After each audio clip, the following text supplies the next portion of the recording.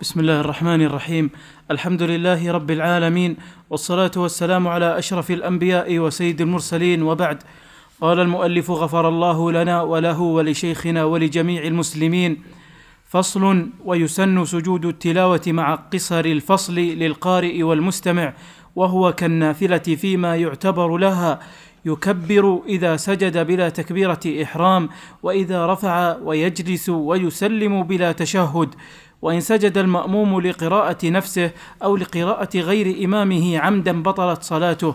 ويلزم المأموم متابعة إمامه في صلاة الجهر فلو ترك متابعته عمدا بطلت. ويعتبر كون القارئ يصلح يصلح إماما للمستمع فلا يسجد إن لم يسجد ولا قدامه ولا عن يساره مع خلو يمينه ولا يسجد رجل لتلاوة لتلاوة امرأة وخنثى ويسجد لتلاوة أمي وزمن ومميز ويسن سجود الشكر عند تجدد النعم واندفاع النقم. وإن سجد له عالما ذاكرا في صلاة بطلت وصفته وأحكامه كسجود التلاوة. الحمد لله رب العالمين وأصلي وأسلم على المبعوث رحمة للعالمين نبينا محمد وعلى آله وأصحابه أجمعين. أما بعد يقول المؤلف رحمه الله في هذا الفصل ويسن سجود التلاوة. سجود التلاوة هو من باب إضافة الشيء إلى سببه يعني السجود الذي سببه التلاوة.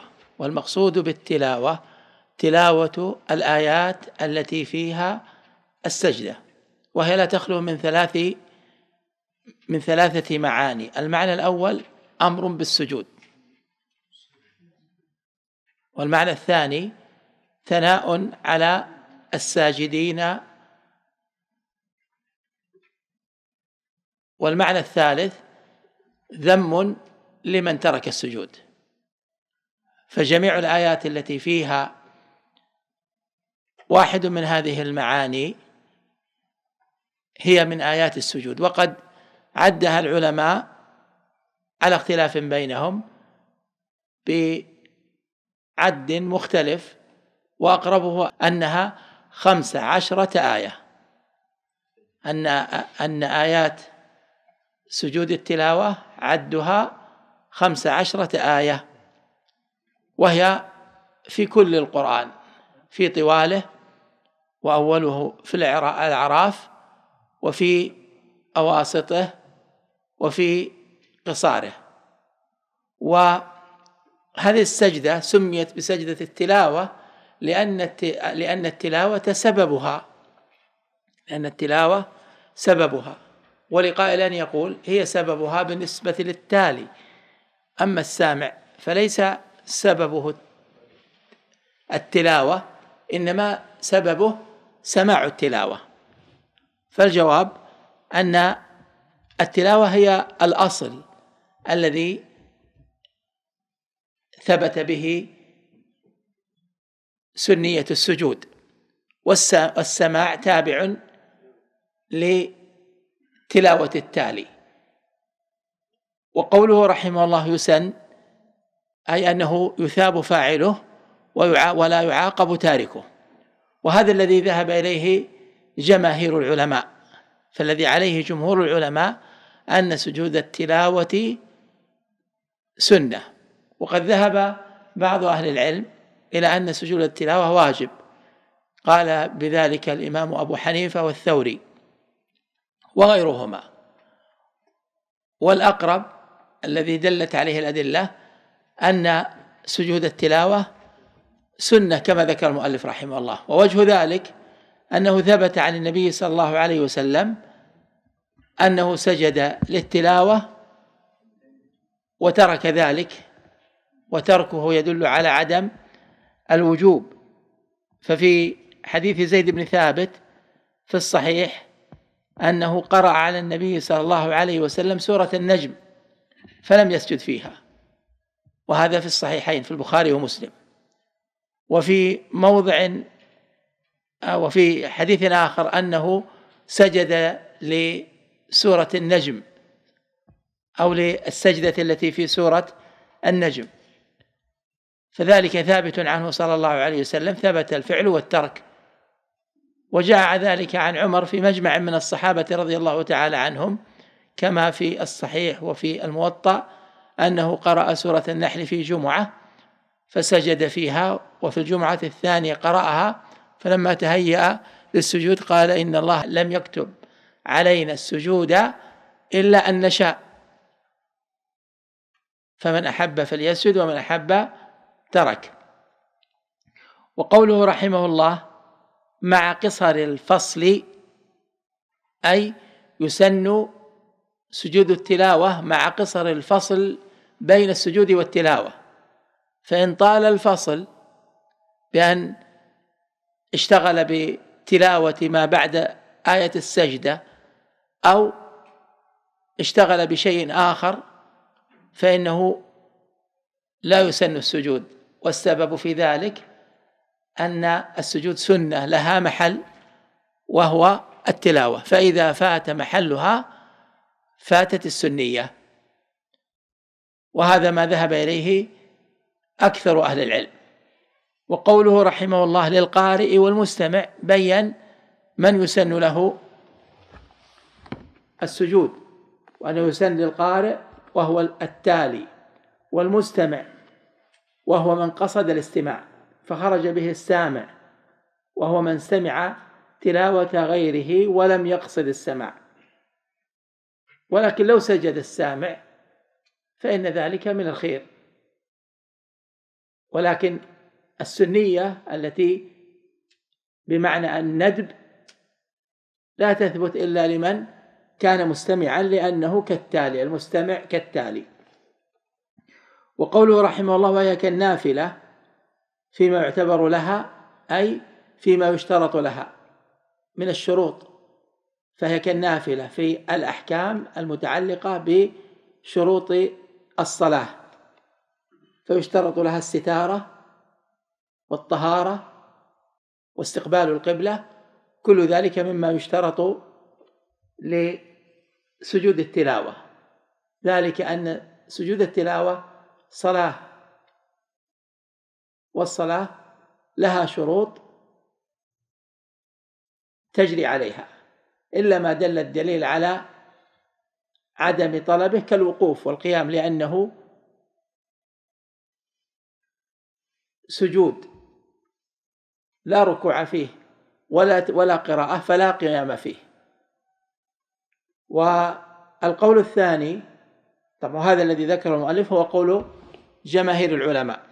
والقول الثاني أن سجود التلاوة لا يأخذ أحكام الصلاة فيما يشترط ويطلب فلا تشترط الطهارة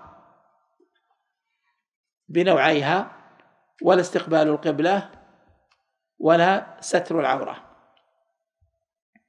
واختار هذا ابن تيمية رحمه الله وجماعة من أهل العلم. وهو قول في المذهب. وهو الأقرب إلى الصواب فيما يظهر والله تعالى أعلم. بين بهذا حكم سجود التلاوة وما الذي يطلب في السجود من أحكام. ثم قال يكبر إذا سجد هذا بيان لصفة سجود التلاوة. قال يكبر إذا سجد. سواء كان في الصلاة أو في غير الصلاة. أما التكبير في الصلاة فهو قول جمهور العلماء. وحكى بعضهم الإجماع عليه. لما جاء في المسند أنه كان يكبر صلى الله عليه وسلم في كل خفض ورفع. فيكبر للسجود ويكبر للرفع منه. واختلفوا في التكبير للسجود خارج الصلاة على قولين. ما ذكره المؤلف رحمه الله هنا أنه يكبر للسجود وللرفع منه. وذلك لما جاء في حديث ابن عمر رضي الله تعالى عنه في السنن من حديث عبد الله بن عمر العمري عن نافع عن عبد الله بن عمر أنه قرأ عليهم النبي صلى الله عليه وسلم سورة فيها سجدة فكبر وسجد قال وسجدنا معه. الشاهد إنه قال فكبر وسجد. والحديث رواه عبيد الله بن عمر العمري عن نافع عن ابن عمر في الصحيح ولم يذكر فيه التكبير. ولذلك ضعف جماعة من أهل العلم هذه الرواية لضعف عبد الله بن عمر العمري الراوي عن نافع. المكبر نعم. والأقرب من هذين القولين أن الأمر في ذلك محتمل وواسع. إن كبر فلا بأس وإن ترك التكبير فالأمر واسع. وقوله رحمه الله يكبر إذا سجد علم أن التكبير هنا تكبير للهوي للسجود وليس للتحريم ولذلك قال بلا تكبيرة إحرام. أي لا يحتاج إلى أن يكبر تكبيرة إحرام. وهذا في أحد القولين والقول الثاني أنه يكبر تكبيرة إحرام ثم يكبر للسجود إذا كان في خارج الصلاة. أما في الصلاة فإنه لا حاجة إلى تكبيرة إحرام لأنه أحرم بتكبيرته الأولى. والصواب أنه لا حاجة إلى تكبيرة إحرام فيكبر تكبيرة واحدة وإن ترك التكبير فالأمر في ذلك واسع لضعف الحديث الوارد في التكبير للسجود. قال وإذا رفع أي يكبر إذا رفع من السجود. وقوله يكبر أي وجوبا.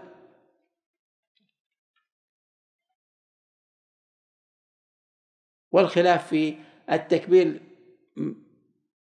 للرفع أقوى منه في التكبير للسجود لأنه لم يرد في ذلك دليل. لم يرد في ذلك دليل وقد ورد في التكبير للسجود حديث ابن عمر في سنن أبي داود وغيره. قال رحمه الله ويجلس أي بعد الرفع. ويسلم بلا تشهد.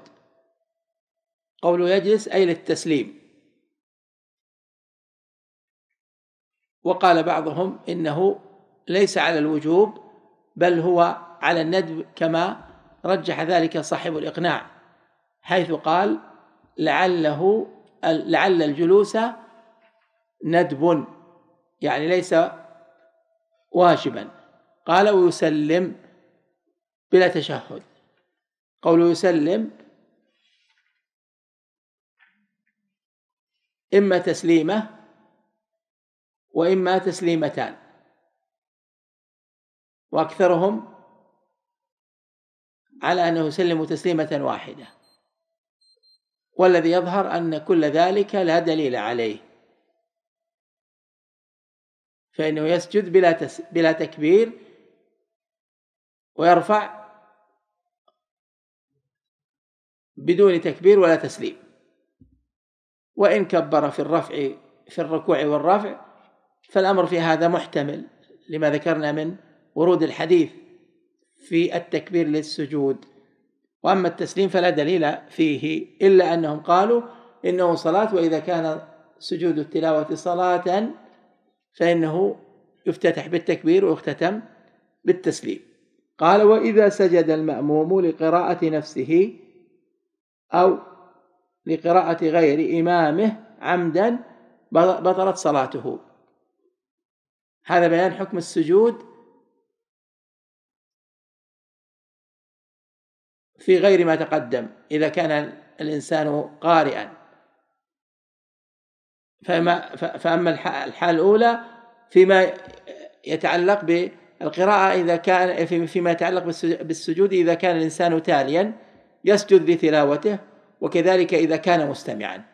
لكن الحالة الثانية إذا كان مأموما وقرأ آية سجدة فهل يسجد لتلاوته؟ الجواب لا يسجد. ولو سجد لقراءة نفسه بطلت صلاته لأنه خالف ما أمر به من متابعة الإمام. وقد قال النبي صلى الله عليه وسلم إنما جعل الإمام ليؤتم به. قال أو لقراءة غير إمامه عمدا أي وتبطل صلاته فيما إذا سجد لقراءة غير إمامه. كان يسمع تاليا في المسجد أو يسمع تلاوة إمام آخر فإنه لا يسجد لتلاوة غير إمامه لأنه يخرج بذلك عن أن يكون مؤتما به كما أمر في قول النبي صلى الله عليه وسلم إنما جعل الإمام ليؤتم به. وهذا خبر يفيد الأمر أي يلزم المأموم متابعة إمامه. وإذا قال فإذا كبر فكبروا وإذا ركع فاسجدوا فاركعوا وإذا وإذا ركع فاركعوا وإذا رفع فارفعوا إلى آخره. في بيان قوله صلى الله عليه وسلم إنما جعل الإمام ليؤتم به. لكن قوله عمدا ليخرج ما إذا سجد سهوا يظنه قراءة يظن يظن التلاوة لإمامه. فعند ذلك لا حرج عليه لأنه لم يقصد مخالفة إمامه إنما وقع ذلك خطأ وقد قال النبي صلى الله عليه وسلم رفع عن أمة الخطأ والنسيان وما استكره عليه. وقد قال الله عز وجل قبل ذلك ليس عليكم جناح فيما أخطأتم به ولكن ما تعمدت قلوبكم.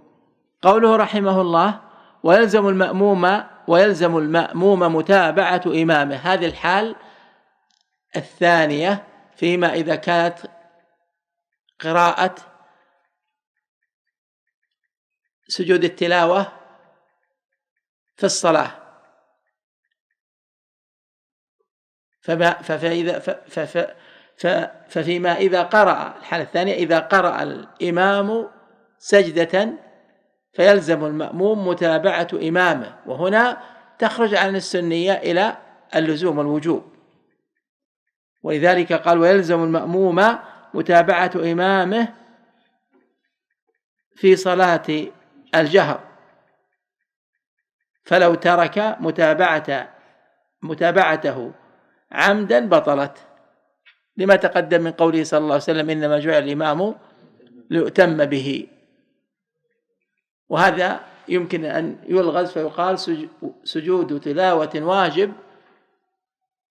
فما بيانه بيانه أن يقرأ الإمام آية فيها سجدة ويسجد فإنه يلزم إمام المأموم متابعته في فيما سجد في في, في سجوده. فإن لم يتابعه بطلت أي بطلت صلاته. قوله ويعتبر كون القارئ يصلح إماما للمستمع فلا يسجد إن لم يسجد. يعتبر أي يشترط. يعتبر أي يشترط. كون القارئ يعني في الصلاة وفي غيرها. أما في الصلاة فإنه لن يأتم إلا بمن تصح إمامته. لكن في غير الصلاة يشترط كون القارئ يعني في غير الصلاة. اشترط كون القارئ يعني في غير الصلاة يصلح إماما للمستمع. فلا يسجد إن لم يسجد. هذا بيان تبعية تبعية بيان تبعيته. قوله رحمه الله يعتبر كون القارئ يصلح إماما أي يشترط أن يكون فيه ما يشترط لصحة إمامته بأن يكون ذكرا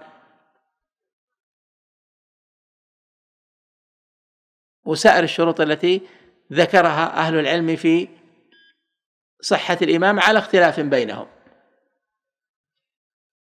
فلا يسجد إن لم يسجد لأنه تبع لسجود إمامه. فإن لم يسجد فلم فلا فإنه لا يجوز له السجود لأن في ذلك مخالفة. قال ولا قدامه. أي ولا يسجد إن كان مكان سجوده متقدم على سجود القارئ. بل لا بد أن يرجع وراءه أو في حذائه لقول النبي صلى الله عليه وسلم إنما جعل الإمام ليؤتم به. ولا عن يساره مع خلو يمينه. فإن كان المستمع عن يسار الإمام وليس في يمينه وليس عن يمين أحد وجب عليه أن يتحول.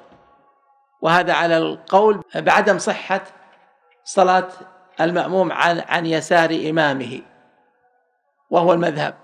وأما على القول صحة صلاته عن يساره وأنه يكون قد خالف الموقف المسنون فإنه يصح أن يسجد في هذه الحال. قال رحمه الله ولا عن يساره مع خلو يمينه ولا يسجد رجل لتلاوة امرأة لأنها لا تصلح أن تكون إمامة له. ولا آه نعم لتلاوة امرأة وخنثى لأن القارئ لا يصلح أن يكون إماما في هذه الحال أيضا. قال ويسجد لتلاوة أمي الأمي لا تصح إمامته وهو من لا يحسن قراءة الفاتحة. لكن في هذه الحال صحت إمامته وصحت وصح السجود لسجوده لأن الأمية تتعلق بإيش؟ بقراءة الفاتحة وليس في سجود التلاوة فاتحة. وبالتالي يصح السجود. نقف على قوله ويسجد لتلاوة أمي.